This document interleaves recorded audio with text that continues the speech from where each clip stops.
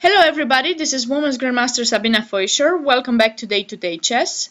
It's been a really long time since I made these recordings, mostly because of a health issue, and then uh, US Women's Championship uh, took place, and um, I kind of uh, neglected my uh, weblog and my YouTube channel, but it's time to get back um, in business. And um, I would like to let you know that, you know, I participated in the US Women's Championship. I am very happy with my result. After about four to five months break, I um, finished fourth, fifth, you know, um, in the US Women's Chess Championship. Definitely a good result for me. Um, I performed much better than in any other year, so um, it might be good to take breaks from chess from time to time and um, I've decided to share with you uh, my last round of the tournament. I was playing white against um, Bikovtsev Agata, a young uh, and very talented chess player who has uh, won, I believe, last year or maybe um, uh, two, maybe two years ago as well, the world. Uh, uh, he she finished second in the world youth um, chess championship under 16 so a very strong and promising chess player. Um, and I had white and of course I wanted to win. So let's see what happened in the game.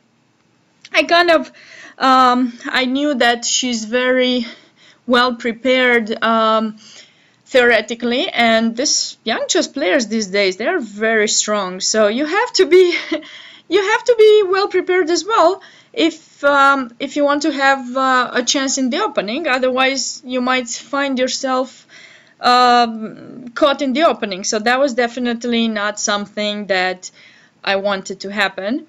And so I've decided to surprise her a little bit myself and went for bishop g5 in this position um, now the idea of this um, of this bishop g5 is to kind of take it slow you know just say, okay, you're playing the King's Indian, but I've got two central pawns, and I'm going to play e3, develop my bishop, you know, castle sure, but I maintain my center, um, c4 and d4, and let's see how you're going to um, play here with black. And my opponent um, immediately went for h6. You would normally see people castling here, and then uh, whether white is going to play e3 or e4 that's something of um, of white's choice. And um, um, again black's plan is just to play a normal king's indian. Knights will go to d7 and then either c5 or e5 definitely this center needs to be broken so uh, my opponent chose to go h6 in this position, however, and of course we do not want to give away the bishop in f6. So I went bishop h4, g5, bishop g3. Now, very often you're hearing that uh, pawns should not be moved um, very much in the opening, so definitely don't make more than two, three moves in the opening because um, you are slowing down your development. Well, here, however, she has um, chased my bishop away, so just um, it these moves were with tempo, so it's not really like she lost moves, um, making pawn moves. She didn't lose any any time. But now clearly black has to be a little bit careful about castling short because anytime white will have the opportunity of playing some h4 and open up opening up the h file.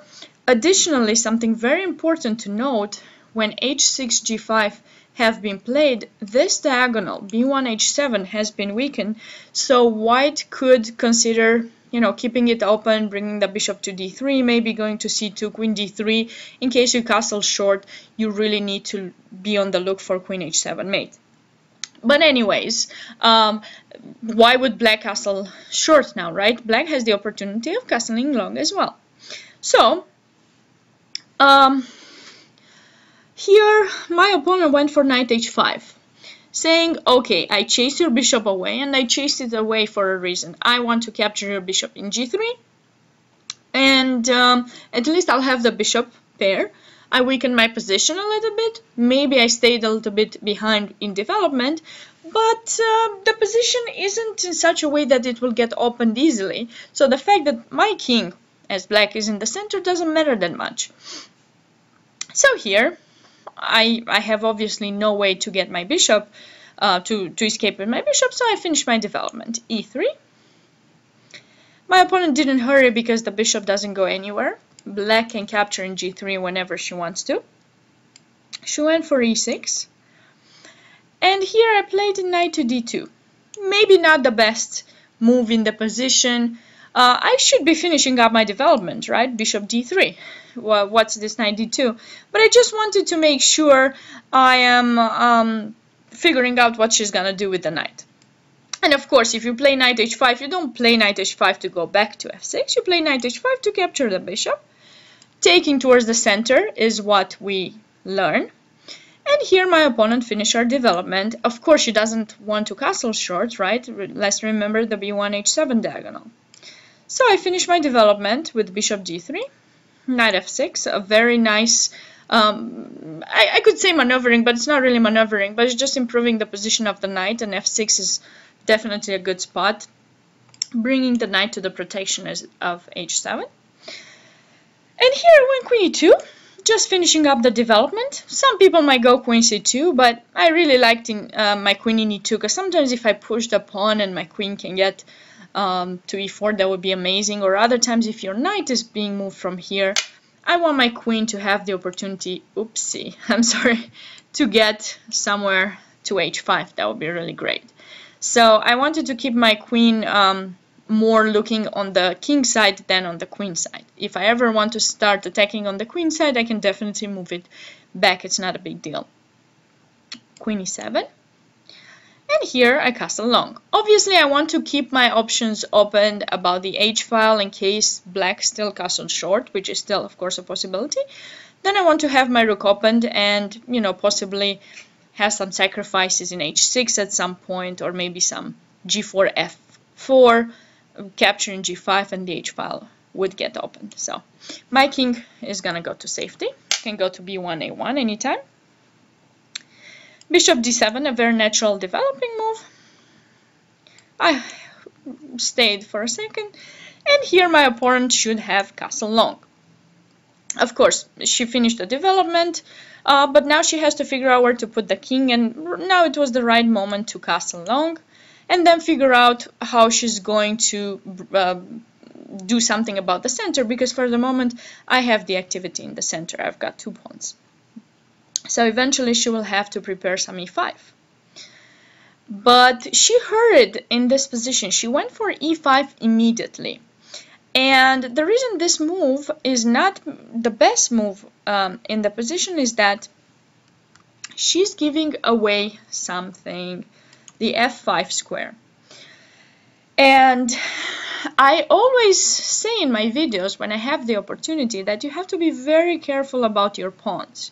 You know, if um, you move a pawn, you have to remember, and of course it's very logical, that it never goes back. But when you're playing, you mostly think about what you want to do in that particular moment and you forget about the long-term weaknesses that you might create in the position. And if your opponent does the right thing, those long-term weaknesses could prove to be really in their favor. So this was um, a big, um, not super big, but definitely uh, positional mistake, giving away the f5 square. And you're going to see uh, the way the game progressed, how I was able to utilize that square. I went 94. I like this move a lot. I have seen it in, in a lot of games. Maybe in this position I could have captured.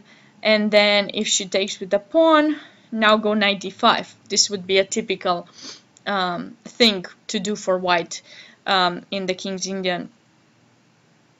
But I've decided to just stick to knight d to e4 because now I realize that by playing e5 that bishop gets closed a little bit as well and if I I, uh, I pay attention, I can just keep it closed the way it is.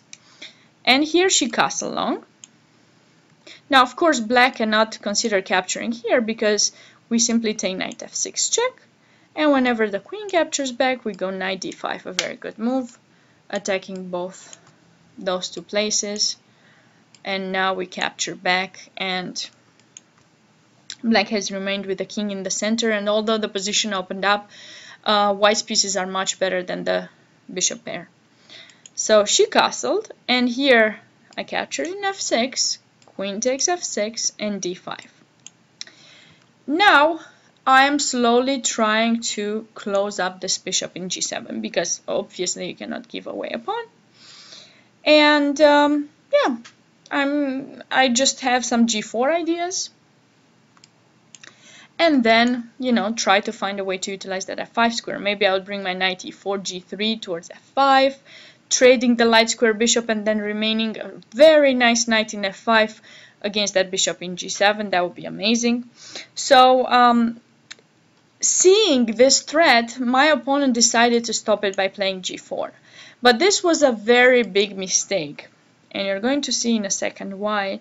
Instead she had to go h5 um, h5 in order to stop me from playing g4 and then um, trying to keep her pawns linked this way so that neither of them is going to be um, remaining weak.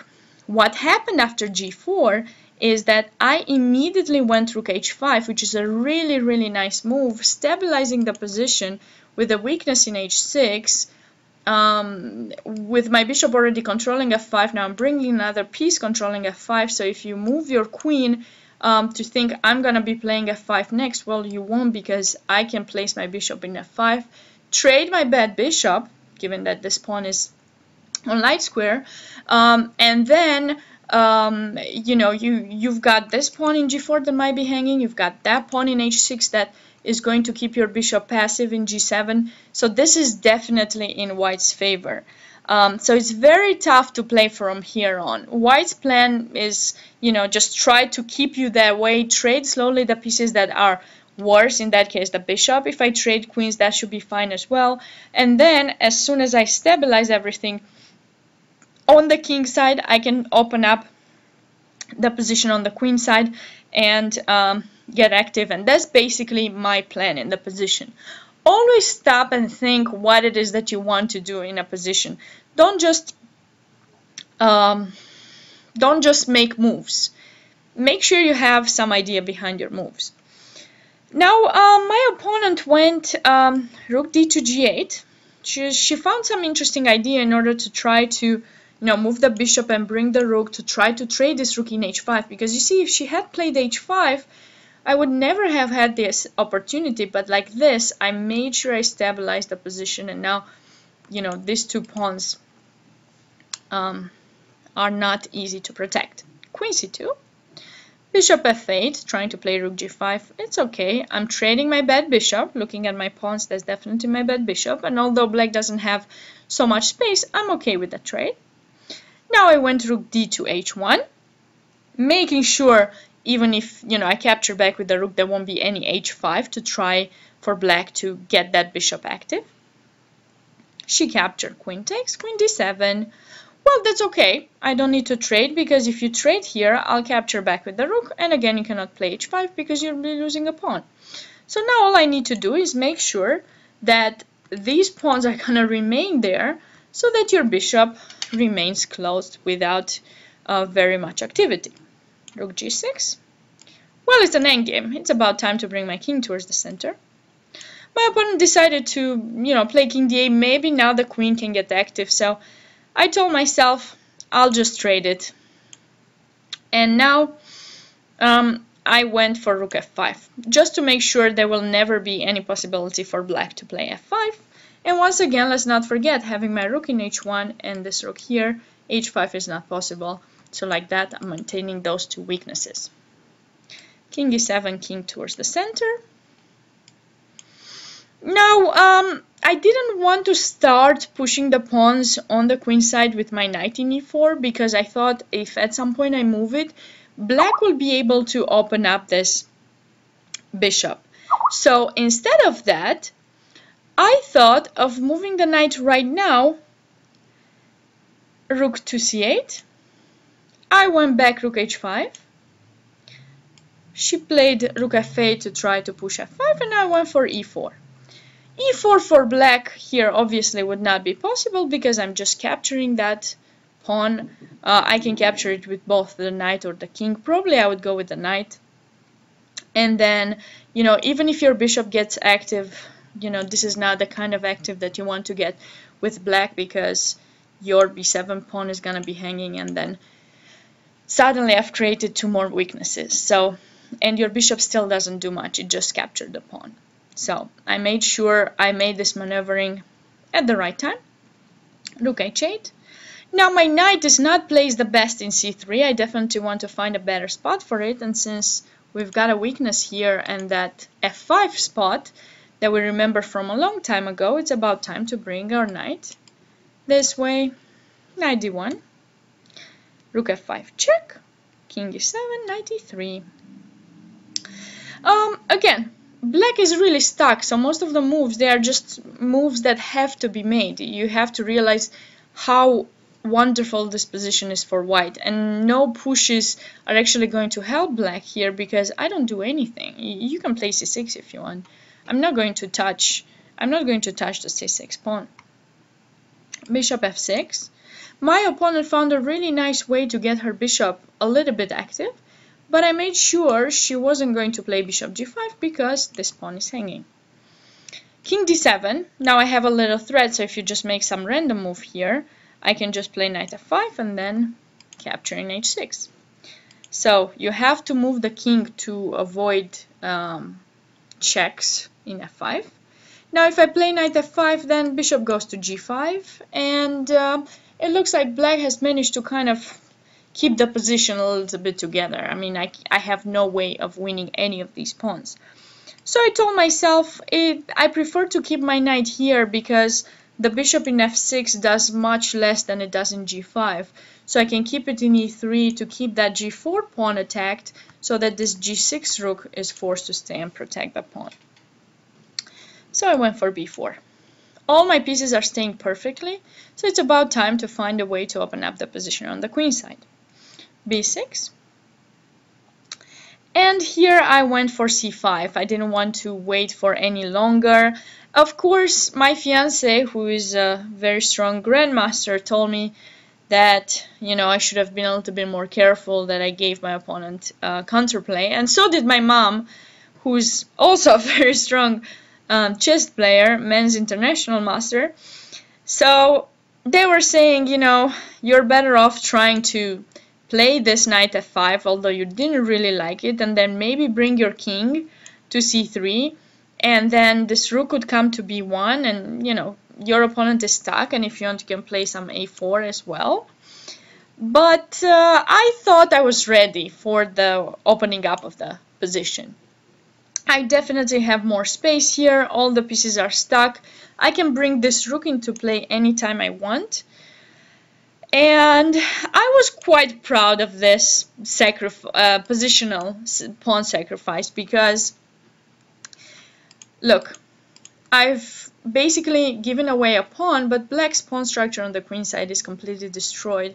And the position didn't open up in such a way that this bishop would actually get active so now I went for rook b1 because I know that anytime I want I will be able to capture that pawn back I just didn't want to hurry. I wanted to make sure this rook is not going to get active on the b file. So my opponent decided to protect it and here again I didn't try to uh, to give my opponent counterplay. For example, if I take here, maybe this rook would come to b6, um, trade, maybe uh, get a better pawn structure. Instead, I played knight c4, just making sure that, you know, my opponent wants rook b6. Okay, my knight is coming controlling the b6 square but also um, attacking this e5 pawn.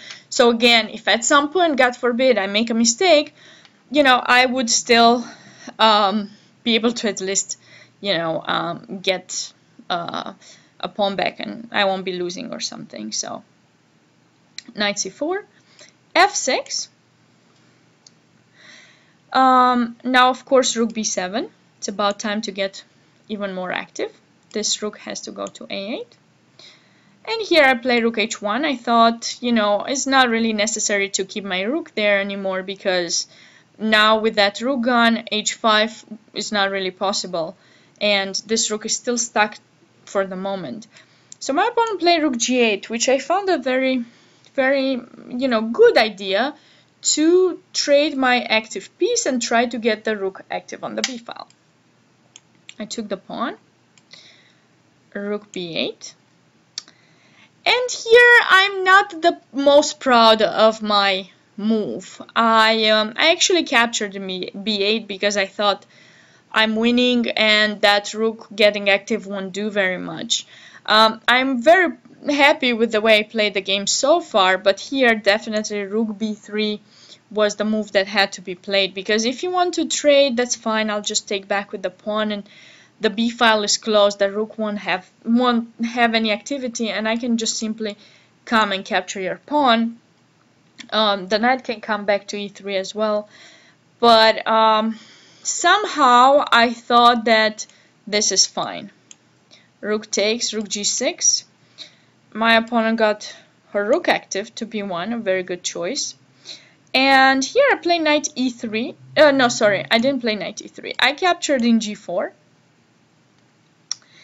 and she went rook a1 attacking my pawn and I found f4 which I was very happy about because even if I'm opening up the position now I really need my pawns to start being pushed obviously I could try to play some a3 to keep my pawn and then consider to play f4 later but I thought there's no time for that um, and the a pawn is not going to be a dangerous pawn. So, you know, when you make decisions, think how your opponent is going to uh, to react, how much counterplay your opponent is going to have uh, after playing your moves, and if you see that there won't be very much, then you should be you should be okay with with your move. But if you see that um, your opponent could get some counterplay, try to stop that and um, later do your plan. Um, so um, are some um, there are some other ideas here. Maybe instead of rook a1 for black to give check, and then after king c2 to think of some rook d4. Um, but the problem with this is although your rook does get active, my knight can get active as well. And I was thinking to bring it to c6. This would be a really nice outpost. And if you're worried that black might play f5 in this position, I don't think you should be because of this bad bishop, unfortunately, rook g7 is just going to be winning for white because knight c6 is coming next and there's going to be, well, either a double attack or that bishop is going to be lost. So no need to worry about this rook getting, um, trying to create some little tactical ideas. So after f4, my opponent captured, f takes e5, f takes e5, knight takes, check, king c8 and after knight c6 my opponent resigned because now um, you don't really have a good spot for the bishop. If you go bishop d6 here I can go e5 and the bishop is going to be lost. So this was my final round of the US um, Women's Championship this year. And um, like I said I finished um, equal fourth fifth and um, yeah, um, I'm. Um, it was one of the strongest U.S. championships that I've played in, and um, this um, youngsters have definitely um, a lot of knowledge in in theory. So we have to be working more and more if we really want to have chances um, to keep winning. Well, older older generation to win the U.S. championship, but. Anyways, this was my game. I really hope you enjoyed it and stay tuned for more tomorrow. Thank you.